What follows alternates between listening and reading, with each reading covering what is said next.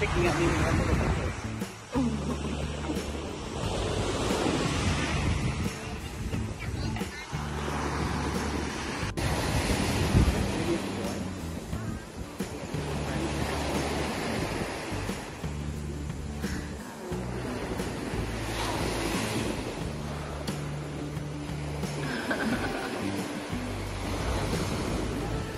Ha ha ha.